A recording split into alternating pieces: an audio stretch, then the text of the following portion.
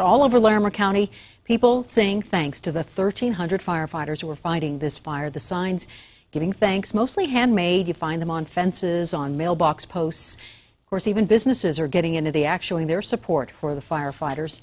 Take a look at this one.